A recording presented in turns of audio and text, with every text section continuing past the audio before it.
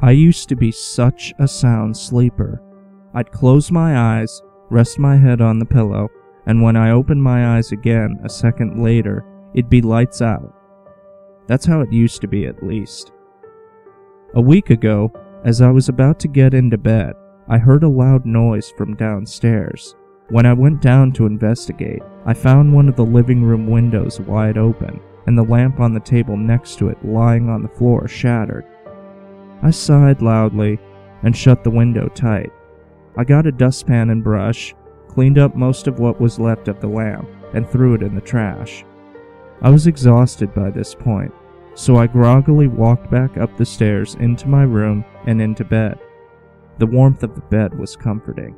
I was completely relaxed. That's why I was so curious as to why I couldn't fall asleep. As I said before, I was a sound sleeper. I never had trouble sleeping, especially when I was tired and wanted to sleep.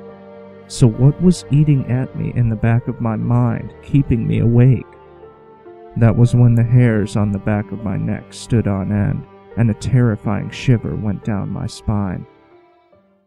Are you awake? A quiet voice whispered in my ear. I froze. Whoever was speaking was so close I could feel their warm breath on my ear. I didn't react.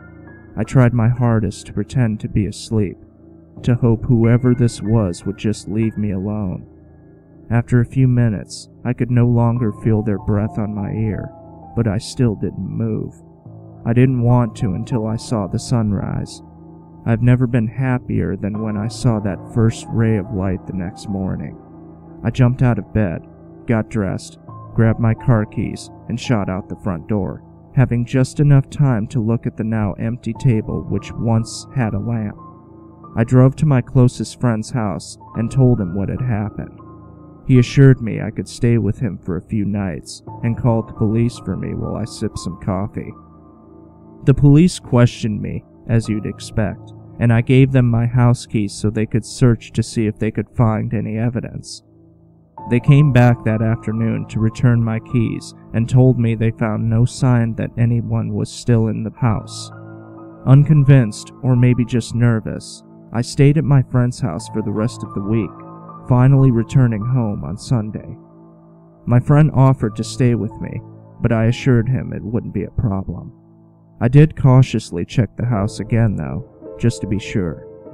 Once I was finally confident, I crawled into bed and closed my eyes to drift into what I hoped to be my first pleasant sleep this week. Suddenly, I felt a sharp pain in my side. I reached down to see what was wrong and found my hands covered in blood. I guess